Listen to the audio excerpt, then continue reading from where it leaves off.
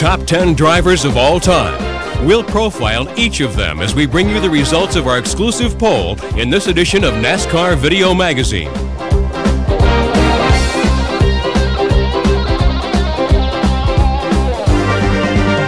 We'll also visit with rising superstar and winner of the 1991 Daytona 500, Ernie Irvan. That's when you find out how big the Daytona 500 is.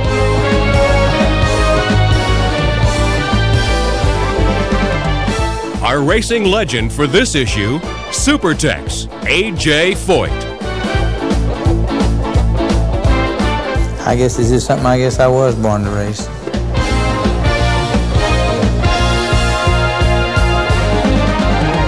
And our host, Benny Parsons, will share war stories with the legendary Wood Brothers, masters of the super speedway.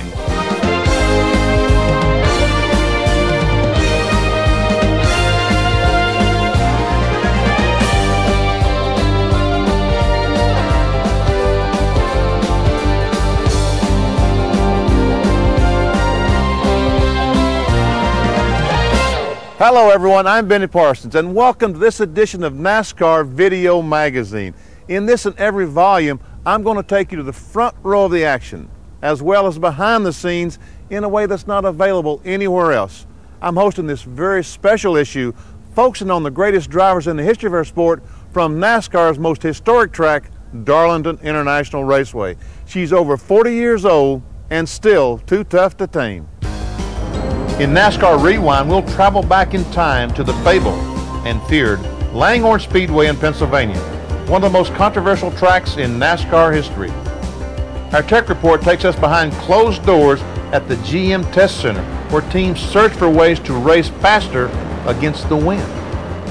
We'll take an in-depth look at NASCAR's Winston Racing Series, where serious professionals and weekend warriors compete on short tracks across the nation.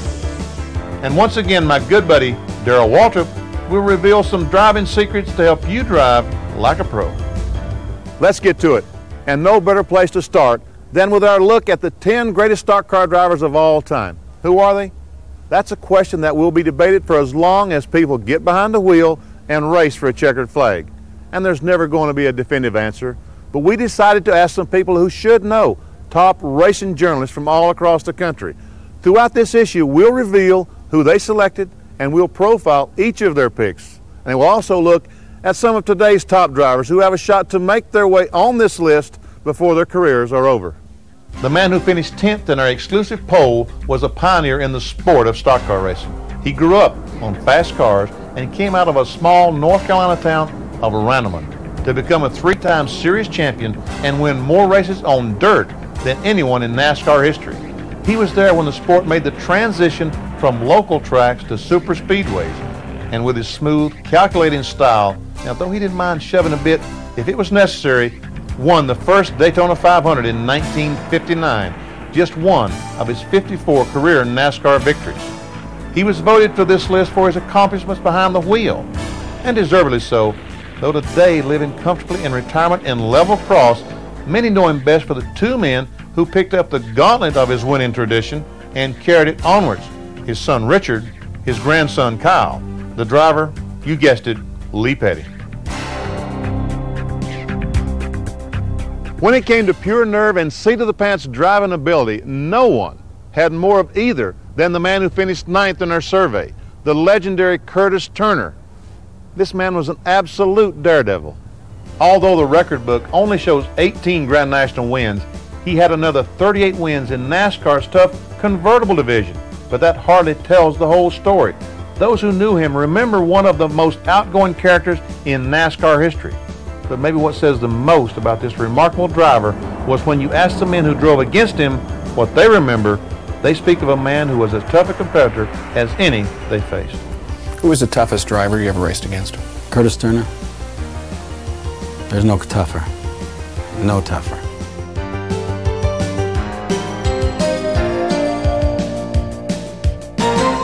It's fitting that Turner's first win came on a course that demanded all of the skills of the talented driver. The place, Langhorne Raceway in Langhorne, Pennsylvania.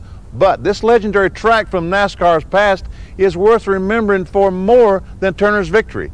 Jerry Punch has the story.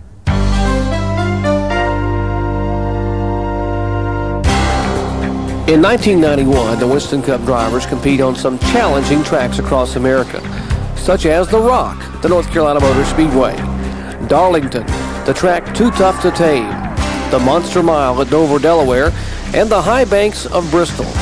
But if you look back to the early days of NASCAR and ask what was the toughest track they ever saw, many of the old timers will simply say Langhorne. The Langhorne Speedway in Langhorne, Pennsylvania was famous in its later years for hosting the annual Race of Champions for open wheel modified cars.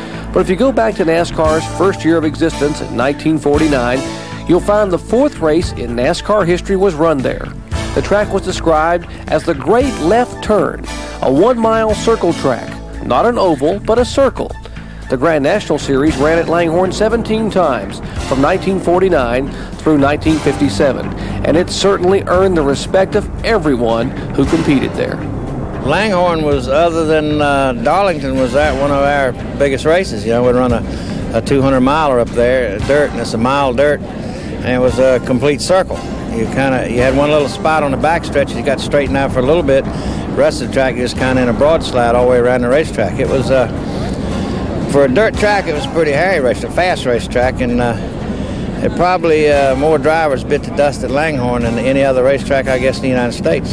It was a challenge to go there. I, I love the racetrack. It was a almost a pure round racetrack, and you could keep a car hanging in a broad slide for a solid mile, and you never did come out of that. If you got out of it, you'd get run off and left because that was the trick to running that place was keep a car sideways the whole mile around it. And that's the way you love to run those cars sideways, right? Well, if I couldn't see the rear quarter panel when I was looking out the right side, I didn't think I had it hung out far enough. Herb Thomas had three of his 48 career wins at the Pennsylvania track. Buck Baker was a two-time winner there, as was Tim Flock. And the driver who won more dirt NASCAR races than anyone, Lee Petty, he had one win there.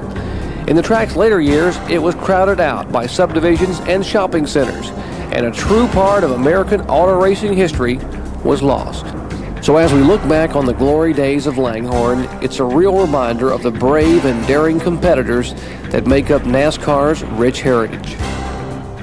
You know Langhorne was tough when you hear a driver as great as Junior Johnson talk about it that way. When it comes to respect, there are few that have more of it in our sport than Junior. And our survey of top journalists selected him as the eighth greatest driver in the history of stock car racing. And no history of the sport could possibly be complete without him. He was there when NASCAR got started, and the legend of the man from Ingle was born in fast cars along back roads in North Carolina.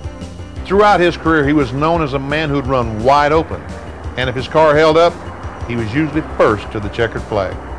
He had 50 NASCAR wins during his career, including the 1960 Daytona 500.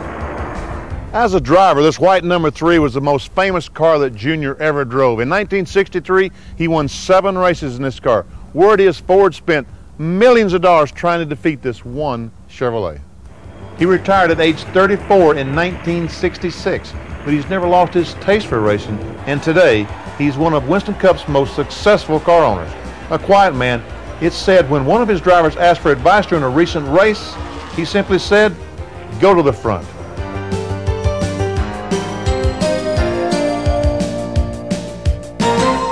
You may recall in our last issue, Fred Lorenzen talked about the profound influence Fireball Roberts had on him. In fact, there isn't a driver who ever competed against Fireball that could forget the experience. Fireball Roberts was chosen in our poll as the seventh greatest stock car driver ever. Few people know it, but he got his nickname not behind the wheel, but at the mound of his high school baseball team. He could bring the fastball, but not surprisingly, when he got to the track, the name stuck. An early master of the super speedway, he had 34 career wins, including the 1962 Daytona 500. In 1963, Ford hired Fireball to drive this car, and one of Fireball's biggest wins ever came at Darlington in this car in the 1963 Southern 500 averaging a remarkable 129.784 miles per hour. His name was synonymous with speed, and I would say he was the Dale Earnhardt of his day.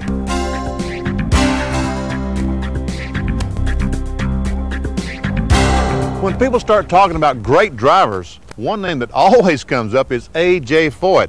Now, although he didn't make our stock car list, there's no doubt that when it comes to all-around greatness amongst motorsports drivers, Super Tex is one of the best.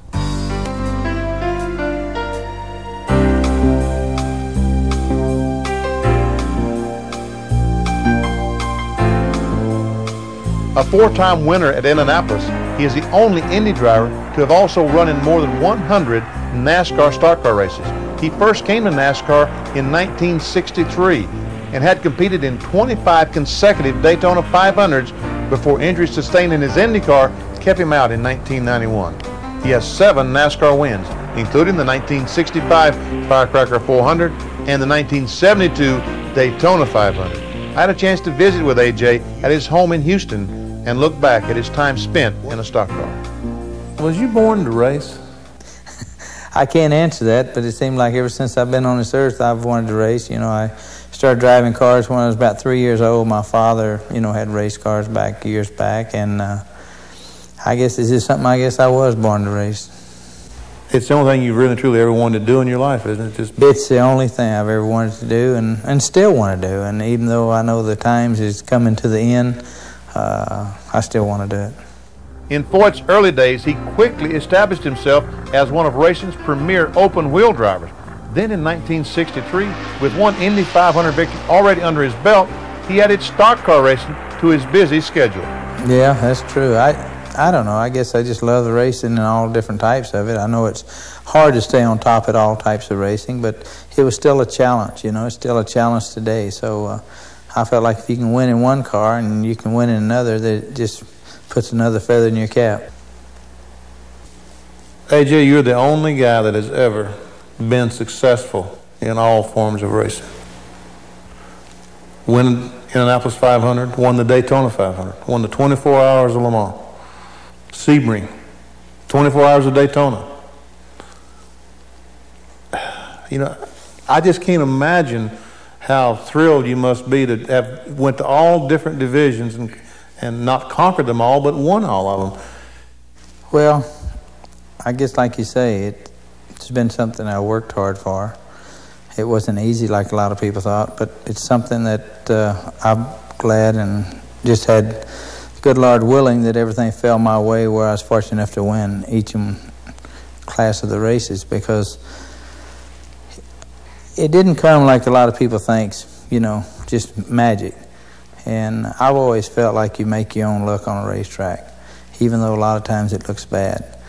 Uh, and like I say, uh, it's very proud to know that a lot of people talk, uh, why haven't you quit, you know, way long time ago. But I enjoy racing. I still think I got a win or two left in me, or I wouldn't be there. Foyt's 30 plus year career has been relatively safe but he's had his share of scary moments, like in 1965 at Riverside, when he lost his brakes in turn 11, causing a spectacular crash. He sustained multiple injuries, including a broken back. What I tried to do, if you look back, we didn't have nothing on the back straightaway. I tried to embed down in 11, you know, it had that big hole in it. I tried to embed the car down in the bottom of that. I think it would have worked good, but as I went to go off the racetrack, it had a dip in the racetrack. And if you look back at the pictures, you can see the car go airborne. Right there when it went airborne, I knew I was in deep trouble. it was out of my hands, and uh, I felt like I'd have run through Junior Johnson because he was braking in the corner, and uh, I'd have run, you know, clean through him. And possible it took both our lives. So the way it turned out, it turned out good. You know, it, I didn't hurt nobody else but myself, and I told him next time I was teasing him, I said, next time I might use you for a brake down there. But I don't know. If I had the situation, I'd probably do the same thing again. Foyt has competed with the best drivers in stock car history, from Fireball to Earnhardt. AJ has seen them all. I asked him who he thought was the best. I actually, uh, you know, I didn't ever really race that much against Fireball, but I remember his name real well. I'd have to say uh, Fred Lorenz, when I was going down there, was really the hot dog down south in the stock car racing. And actually, Junior Johnson. I remember me and him had a hell of a race at Atlanta one time. We was running two Chevrolets. I was driving for Smokey Yunick, and uh, Junior uh, was driving for himself and running the Chevrolet. And Junior stood on the gas pretty hard down there. I didn't, you know, couldn't run that many stock car races, but uh, I'd have to say he was probably one of the hardest down there to beat when you go down there. You know, when I when people mention to me great race car drivers, the first name that pops in my head is AJ Foyt, because the fact that you've done it in all kinds of race cars. And when people think of AJ Foyt, what would you like for them to remember those all those years there? Well, I don't know. I've all the races through the years I went to, when I'd go out on a promotion deal to run a midget or sprint, I like people to realize that I give 100% every time I went out. And uh, that's about it because, you know, when I quit, my days are over with and uh, just go back to low key normal life, I guess. And uh, one thing about it, like I said, uh, I've always tried, even when I'd go out and run the midgets, I'd win some of them, lose some of them. But I never went there for appearance money, just collect appearance money and say, well, the car quit running or something. A lot of guys have done that through the years, and that's one thing I made a point to never do.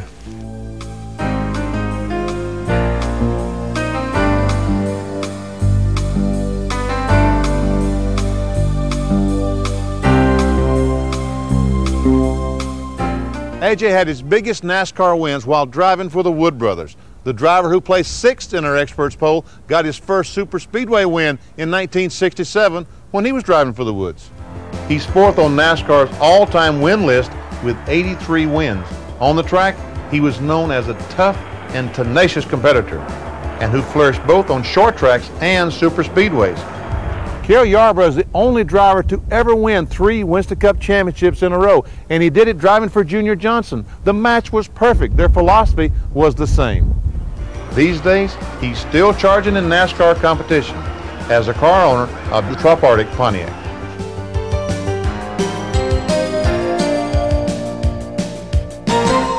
Number five on the list. He won another vote, with fans picking him as NASCAR's most popular driver in the past two seasons. Darrell Waltrip. A three-time Winston Cup champion in the 80s and currently fifth on the all-time win list, Waltrip has changed the image of her sport with his outgoing nature and articulate presentation. He may not be the most talented, pure driver among the top 10, but ask anyone, and they'll tell you it's hard to find a driver who's smarter or more calculated. He's a master tactician, equally adept on the short tracks and super speedways. Inside the slick package is a man with a powerful will to win. He's bounced back from last season's injury and with his new Western Auto car seems certain to solidify his position as one of the greatest drivers ever.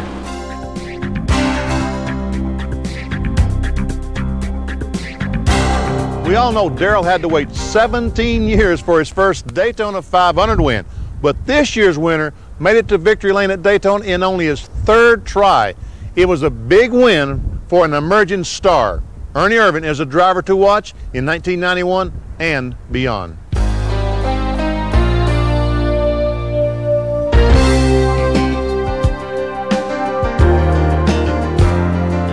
Following Ernie's win at Daytona, I had the opportunity to visit with Ernie at his home outside Charlotte to learn more about the man many are calling NASCAR's next superstar. Ernie, you knew that the Daytona 500 was a big deal. Did you realize it was as big a deal as it is? No, not really, Benny. You know, um, I always heard the Daytona 500. It's the biggest event we ever go to. Well, yeah, I looked at the entry form, and man, I knew it was a big event. You know, I mean, that's Kenny Schrader taught me, man. First thing you do is look and see how much that race pays, and um, you know, I, I, knew it was big in that aspect. But you know, but um, to leave the Daytona 500 and and to have um, as many requests as I did when I got home, as far as to do news deals, do the David Letterman show, um, you know, just numerous things, and um, that's when you find out how big the Daytona 500 is and and how big a reaction it has. I mean, it was in Sports Illustrated, which, you know, I mean, racing just doesn't get very much. Uh, things in magazines like that. And um, you know, just every time I talk to somebody on the West Coast, you know, they say, "Oh, well, we saw you're you're on the cover of this or you're on the cover of that," and it's like, man, it's like the only thing I've ever been on the cover of Stock Car magazine. You know, so so it, it's definitely a big deal. Like so many other stock car drivers, Ernie became interested in the sport through his father. My dad actually started racing in 1959, the year I was born. And the whole time I was growing up, um, I worked at the wrecking yard. My dad had a wrecking yard, and um, worked at the wrecking yard and you know learned a lot of things about business and cars and um, just you know lots of odds and ends. And he had a lot of times he had the race race car there, and we got to work on the race car a little bit. You know, I was a kid, so I didn't get to do much. But he always had this quarter midget sitting in the garage, and he always told me that was my quarter midget. So when I turned eight years old, he decided he was going to take me to this quarter midget track and let me race. Ernie eventually became successful at go-karts, winning several California titles. Then, at the ripe age of 16, he started racing stock cars and continued to win. I raced uh, five races the first year I ran, and I won one. And then the, when I was 17, I raced 10 races and won two. And then when I turned the when I turned 18, we had bought a car from Ivan Baldwin. Um, it, you know, the basically the best car you could buy at the time. Um, went to Stockton. We're going to run a full season. Me and my mom. My dad was out racing at dirt tracks, and so he didn't get to come. But me and my mom would go racing. Oh, your mom was behind this as well. Yeah. Oh, yeah. My mom was kind of my pit crew at the time because my dad couldn't go. So my mom would. We'd leave on a Friday. I'd load the car up on Thursday night. I'd go to school on Friday. Mom would drive by, pick me up at school.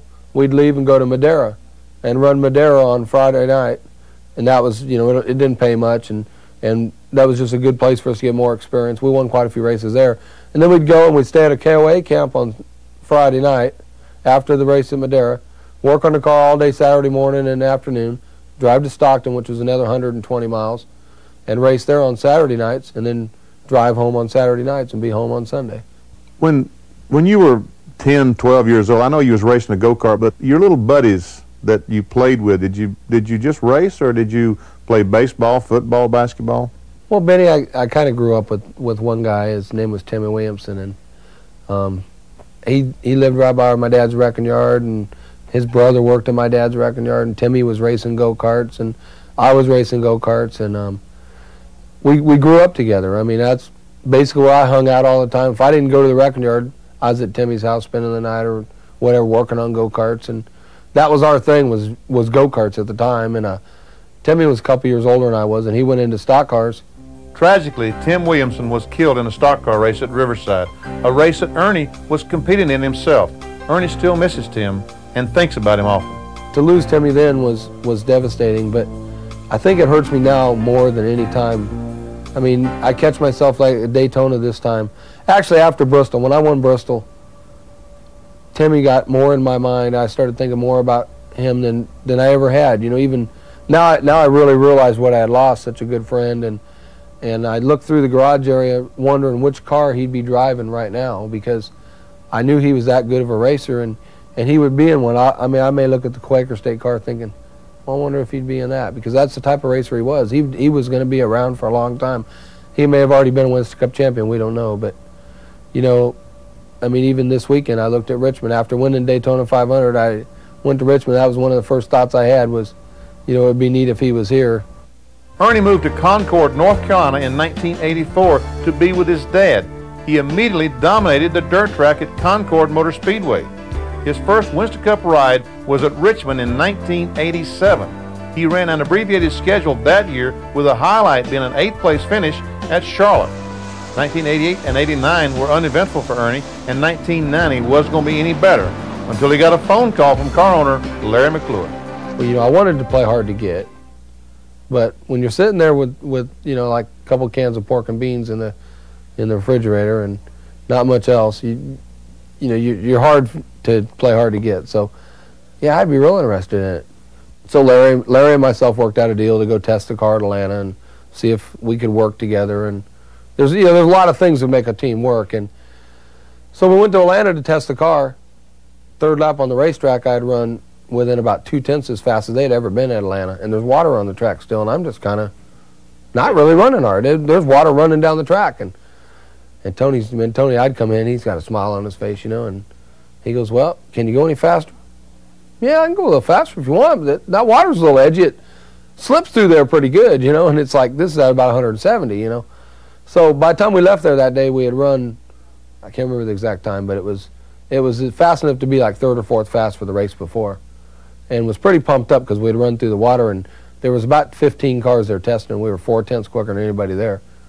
So Larry and myself went back and, and we pretty much worked all the details out for a contract and and you basically what he wanted to set up and we come back to Atlanta, rained out qualifying, um, started 30th in the race and ran third. So um, from then on, it's just been great. What's next? What's your goal? Championship? More races? What? Win, win more races. Um, learn to be more consistent. Um, you know, you, you can't go to Daytona, win the 500, then come to Richmond and run 27th.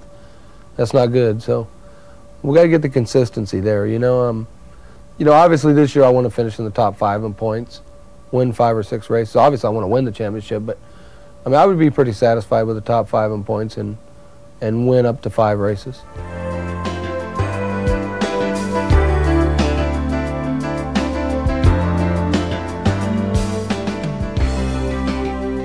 After winning the Daytona 500, Ernie talked about how just five years ago he was running in the Winston Racing Series.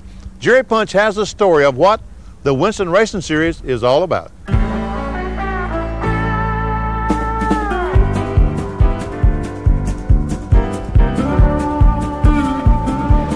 One of the most common questions asked in the Winston Cup garage area by would-be drivers is where can I get started in racing? It may surprise you to find the best place to start is close to your own backyard. It's called the Winston Racing Series. This series has a combination of weekend warriors and future superstars. The series is made up of nearly 90 tracks that operate in 37 states. Drivers compete on asphalt and dirt on the short tracks that are the real grassroots of American racing. This series celebrates its 10th anniversary in 1991 and already has some impressive graduates. The Winston Racing Series is one of the most competitive series in the country. You got the best of the short track drivers all over the country running the series. It does a lot for your future. It taught me how to race hard, how to win, it taught me how to lose also. And without the Winston Racing Series, I surely couldn't have won a Busch race and sat on two poles by now. The series is broken down into eight regions, with each having its own champion. Current Busch Grand National star Elton Sawyer is a former Mid-Atlantic Regional champion. You know, in 1983 and 1984, when I won the regional titles, uh, you know, ran primarily at Langley Speedway in Hampton and Southside Speedway in Richmond. The exposure through running through that series gave me the opportunity to run this Busch Grand National Series now. The 1990 national champion was Max Prestwood Jr. of Lenoir, North Carolina, who won an amazing 35 times in 40 starts. His national championship prizes total over $65,000. The Winston Racing Series is not only a great place to get started, but also a great way to follow your dream of driving in competitive cars and competing for a national championship of your own.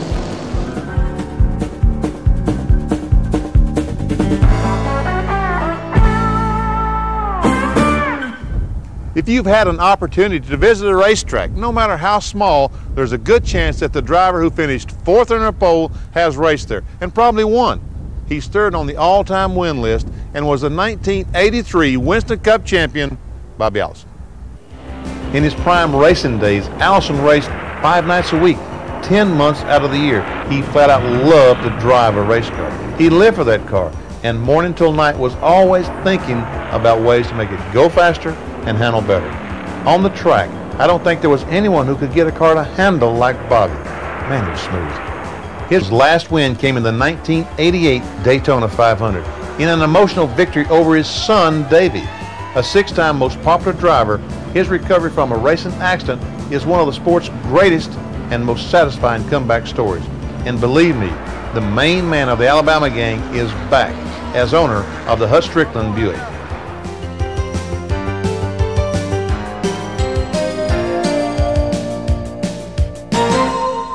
Bobby was not only a great driver, but he was relentless in doing everything he could to improve the handling and performance of his car. And one of the ways to do this is mastering aerodynamics. Racing against the wind is constantly challenging the Winston Cup competitors. And in this special report, Chris McClure goes behind closed doors at General Motors to tell us just how high-tech the battle has become.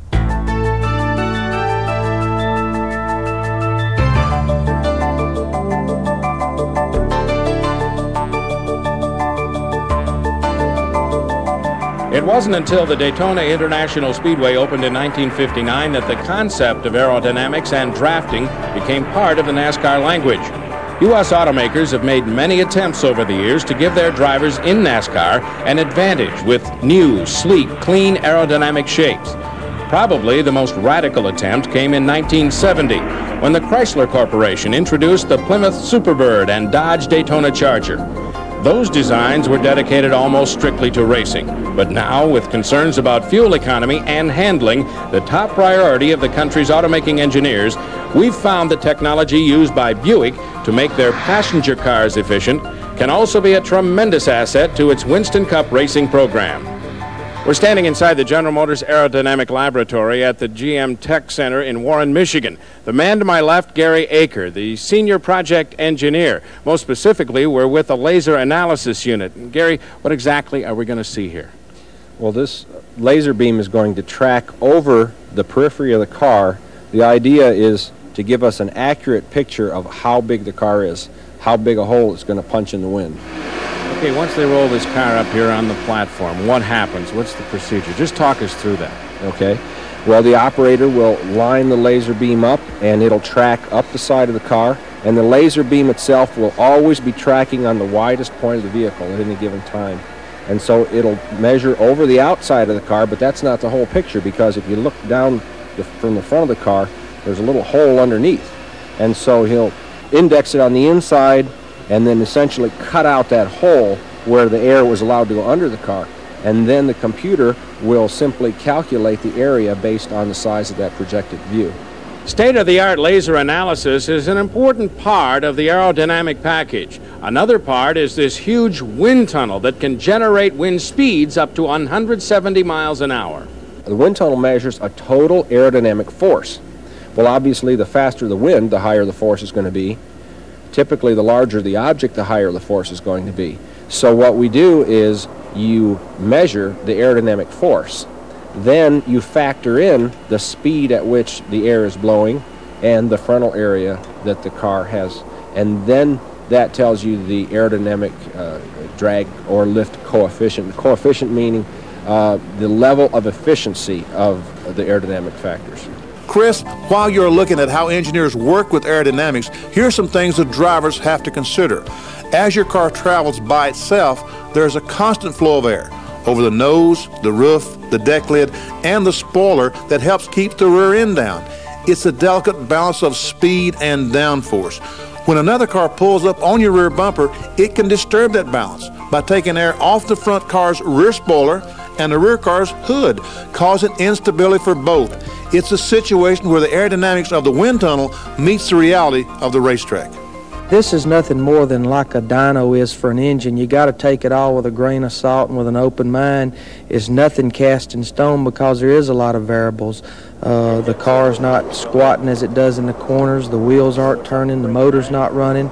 But it's just a tool to, to learn things and then take them and go to the racetrack and see if the wind tunnel has given you the correct information or not. And we have found uh, instances where the wind tunnel would give us direction one way, but it would go the other way on the racetrack.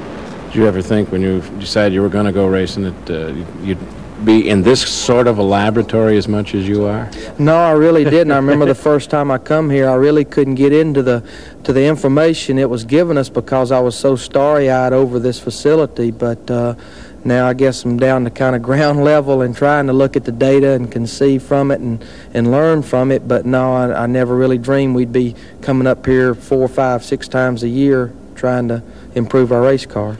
Benny, as we've seen here today, technology continues to play an important part in the development of race cars for the Winston Cup Series. It also further demonstrates the sharing of technology that goes on in the industry, technology that goes both to the racetrack and to the showroom. Aerodynamics or body design play a crucial role in all racing, but perhaps nowhere is it as critical as on superspeedways.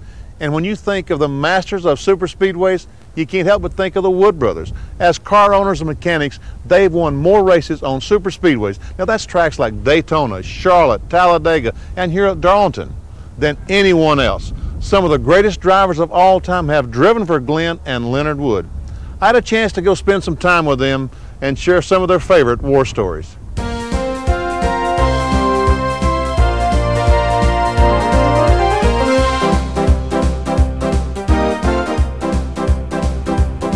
Sitting talking to the Wood brothers. I mean, what is, who are the Wood brothers? Glenn? Well, I don't know. Uh, Leonard and myself started this thing several years ago, and when? What year did you start? 1950. Well, how old were you, Leonard, in night when you started this? 15. 15 years old? Yes. Um, uh, I guess Glenn's first race car uh, engine was built by Curtis Turner's mechanic, and uh, that went in his first race car. And then uh, my father rebuilt it a couple of times, and then I was probably 16 when I started building his engines. And I remember one time we was uh, had bought this new four and a half inch stroker kit, you know, and uh, I was in the back room and this uh, com competition came in and we was trying to get the engine together, you know, and uh, we bought this set of pistons from California, had a real narrow ring in it, uh, unlike any of the others we was using, and I broke one. So I had to take a one of the older ones, thick ones, and grind it down and put it in there. But anyway, it uh, it ran all right. And you was the driver. Yeah, I started, Leonard was a crew chief. I started out driving. Uh, actually, there's about five different ones started that was going to just build a race car, and nobody was designated to drive it. And after we got through with it, uh, it turned out that me, and myself, and Chris Williams uh, started all together, and uh, so it ended up I had to drive it. So it just turned out that way, and we just, in fact, we burnt the first one up after the first race. Literally, it caught on fire and burned? We had hooked uh, uh, sort of a rear bumper of a car, uh, and towing it home, it you know rung axle off, and it fell down on the road, and sparks caught the gas tank afire, and it burned it down right in the middle of the road. Over the years, Leonard, what's the biggest change in auto racing since you started when you were 16 years old? What do you think's the biggest change? Well, excuse me. The one thing that, that I see has changed that's that's making it hard to be competitive is used to if you had a you just didn't let anybody look at your car. I mean, nobody saw your secrets, you didn't tell your secrets, nobody told you theirs. But now if uh, if you want to any any top team in this garage could go to another top team and if they was in trouble, they would help them and and then uh, let's say 10 teams will get together and share secrets and then on down the road people can come in and buy the top rate equipment and the and the secrets and everything when you didn't used to could do that. Well and when did you go when did you go to Indianapolis uh, the Wood brothers went to Indy? When was that? 1965 Ford wanted us to come up and pit Jim Clark and uh, we came into this English uh, garage and we are supposed to take his car over just and make a pit stop and but uh, they didn't resent it didn't seem to resent it at all it would have been much harder to do if they had it but they just seemed to welcome us to come in and they let us do anything we wanted to in preparations to make uh, to prepare for a pit stop you know but you didn't change did that car run all day with no tire change? We didn't have to change tires, but we was prepared to. We it fitted all the dowel pins and the wheels, you know, to fit on uh, smoothly, and and uh, we had uh, uh my brother Ray checking the tires for depth, you know, the wear depth every time, you know, and if it had been a, a wear problem, we would have certainly changed. As I remember correctly, that was very successful. That uh, pit crew when you went to India that time, wasn't it? Well, I guess it's the most publicity we ever got in our lives and did the least. it was not that big a deal, huh? No, I mean, it, it, uh, it was just a fun thing after it's all over. Now, once you stopped driving, you've had a lot of different drivers. Uh, who, the first driver you had when you was who? Panch. Marvin Panch. Yeah, Marvin Panch. And then he was injured. Tiny Lund got relief for him in the Daytona 500 and won the 500. Right. Yes. Was, was, that your biggest thrill up to then? It and uh, Pearson. Oh, up to then, sure. But it, it sticks in our mind as well as uh, Pearson and Petty. And when did Pearson join your team as a driver, David Pearson? 72. 72, and he drove up and through 78 or 78. And that had to be those six years had to be probably the finest six years that any driver team has ever enjoyed. It was. We had a Pearson was a, a type guy that uh, he never told you. He always made it look like he couldn't do what he could do. He always played it down, and he'd he'd always come through with more than what he said he was going to do. As a driver. Yeah, like uh, for instance that race with he and Petty, he says I'm doing all I can do. He says I can't pass him, but he did. You know, going down the back straightaway. I mean, uh, he always wanted to.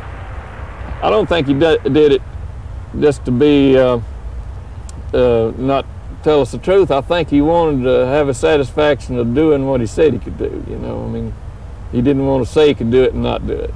The last six or seven years, the success has not been nearly as great as it was in the 70s with Pearson. Any reason for that, Glenn, that you know of? Well, it's it's a lot tougher now, and and I guess some of them got a little ahead of us in some areas but there's some bigger sponsors than we had out there, and uh, and it all adds up. Uh, we've we've tried just as hard, seem like, and it, it's hard to answer that question. Glenn, when you drove, who was the toughest race car driver you drove against? Well, I just have to go back to Curtis Turner. I think he was, I guess, my inspiration to to be a racer. We used to watch him, and he grew up near us, and he was my racing idol, I guess. He, he was tough. Uh, you, you well know that. Uh, he, he was one of the greatest, uh, I think, that ever lived. Who have you, I mean, this is a hard question, and I don't know if you have an answer for it, but who as a driver have you enjoyed the most over the years, Leonard? Well, you know, they, they all got different qualities. Uh, each one's got, uh, you know, I, I don't never really like to point out any driver compare them, you know, but uh, uh, all of them's uh, uh, record, you know, speaks differently, and then there's some of them got one thing that stands out in your mind. I know uh, A.J. Foyt, when he relieved from Marvin Panch in 1965, we didn't have radios, and you couldn't you couldn't get drivers to look at you too much, you know, or acknowledge your signal that you give them on a, a blackboard. And AJ would come by and he'd turn his head square at you and look straight at you and give you the signal every time. I guess it's because, you know, running Indy, you know, it, it is running so fast, they had to learn to look at it. But he was the best ever was reading that board. And then he'd, he'd just smile at you if he's running good. But you asked who was the most interesting driver. Uh, and I would have to say I had the most fun working with Glenn and I, you know. Uh, we had a good relationship, you know, uh, mechanic and driver and uh, it was the most interesting for us too. And I remember the first race he won over there at Bowman Gray. It, it had a uh, the brakes would go down every time he'd go back on the racetrack. He'd go to the floor, and he'd come back in. He says, "I know it sounds like I'm lying, but says the brakes go to the floor, and it'd be full pedal when you get back in." So we discovered exhaust was blowing on the master cylinder while it was wide open, and heating the master cylinder and the boiling fluid, and it'd go in the floor. So we took exhaust completely off the left side, and it was nothing but just the uh, exhaust coming off the block, you know, on a flathead. And it sounded terrible, but he won the race.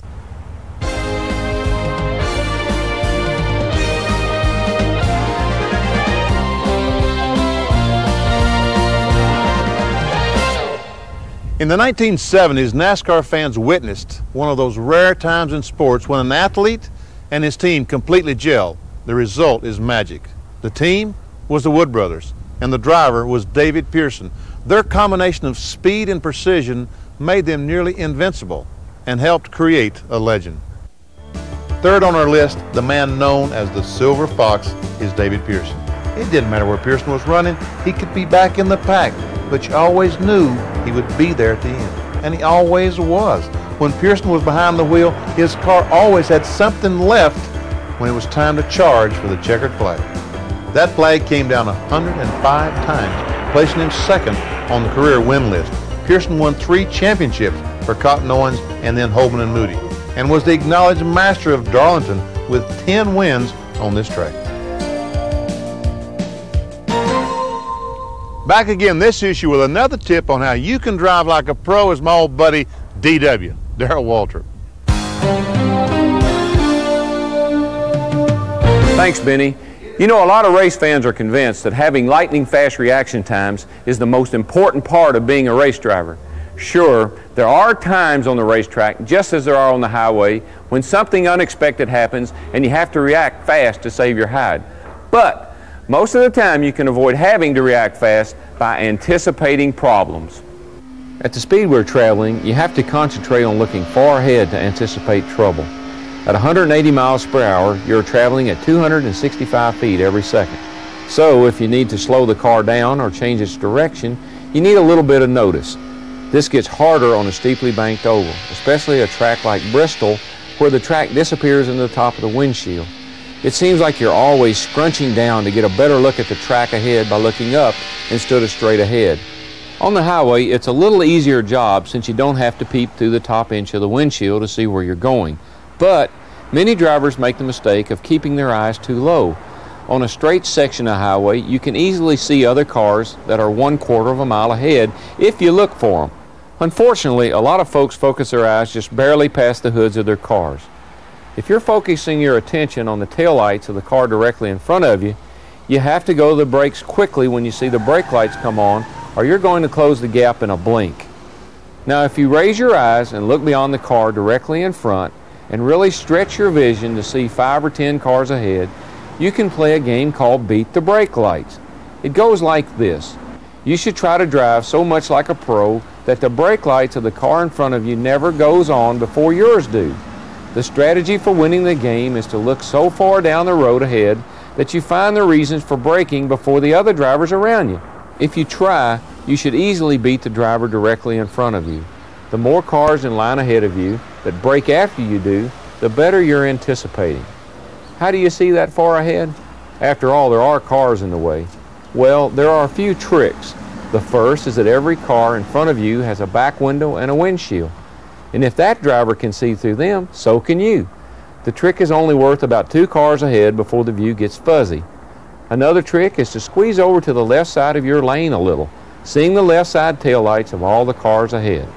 As you're driving, keep moving your eyes ahead as far as you can see, then back again towards the cars closest to you, sweeping the traffic front to back.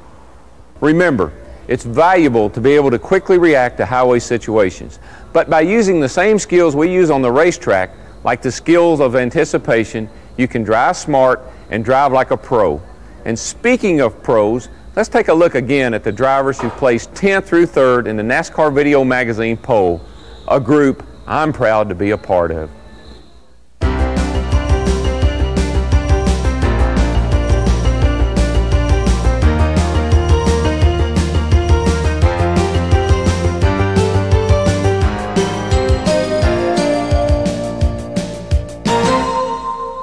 Well, folks, as you can see, there are only two spots left, and we'll fill you in and introduce you to those drivers in just a minute. But first, Bob Jenkins takes a look at some of the top drivers of today who didn't make the list, but have a chance to move up in the future.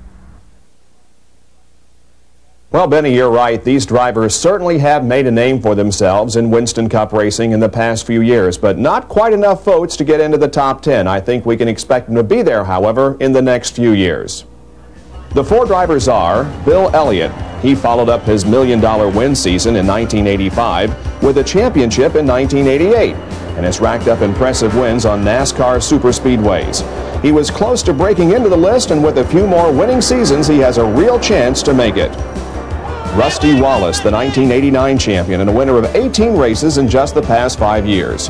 His new Penske team seems to be gelling quickly and has the potential to be one of the Winston Cup Series big winners in the seasons to come. Mark Martin came close in his championship quest in the past two seasons and certainly has a bright future ahead. But I think he needs to win consistently to start attracting voters in the future. Geoff Bodine, he could be considered a dark horse contender.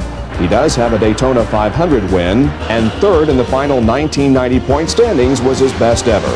But it will take a championship and a few more big wins to help him crack into the top 10. Thanks, Bob. What about Ernie Irvan, winner of the 1991 Daytona 500? Alan Kulwicki, does he have enough time left to make it? Ricky Rudd, who does so well on the road courses. But now it's decision time. Let's hear from a couple of our voters to find out who their choices were. Richard uh, was consistent for so many years over a period of uh, three decades, 60s, 70s, 80s. Uh, smooth, smart, won all those uh, 200 races. So I went with him. It was a very, very tough call because I think that uh, Dale Earnhardt, who was my second choice, has uh, achieved all this success in an era when the sport is much more competitive than it was when Richard uh, was uh, winning quite a few of those races were uh, 100 milers on short tracks and the fields weren't as strong as they consistently are every week round. I'm picking Richard Petty mainly because the guy won 200 races and he's raced for years and decades and continues to race.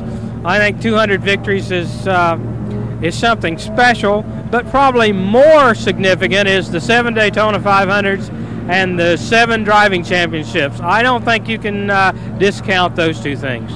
Okay, who did our panel of top racing journalists pick?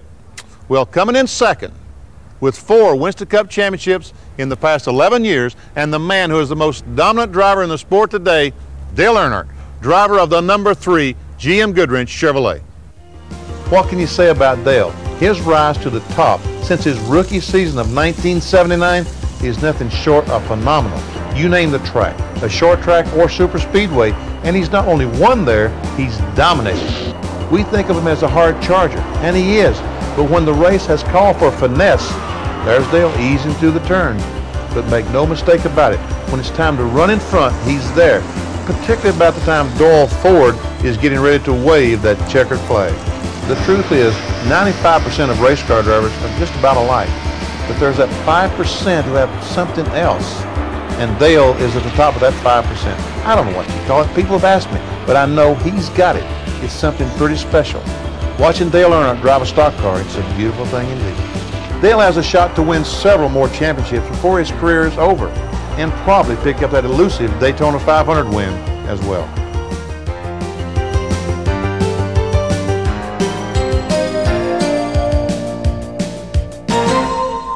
Dale Earnhardt will be the first to tell you there's only one king. And as you've probably guessed by now, the man selected as the greatest stock car driver of all time is Richard Petty. On one hand, you can measure his greatness by looking at the record book. It sounds like a broken record. Most career wins, 200, Richard Petty. Most wins in a season, 26 in 1967, Richard Petty. Most consecutive wins, 10 in a row in 1967, Richard Petty. Most wins from the pole in a career, 61, Richard Petty. And the list goes on. 18 consecutive years with at least one win, seven Winston Cup championships, seven victories at the Daytona 500, Richard Petty. No one even comes close, probably never will. Hey, I thought I knew something about driving until I raced against Richard Petty. Just being on the track with him showed me how much I had to learn before I could even call myself a race car driver he just flat out blew my mind. But the story of the King's greatness goes beyond what Richard does on the track. It's the man himself. He transcends the sport. Win or lose, he's the same. There's that same big smile and the love he has for the sport and the love he has for the fans. I mean, man, you can feel it. There's no doubt Richard Petty, the greatest stock car driver of all time.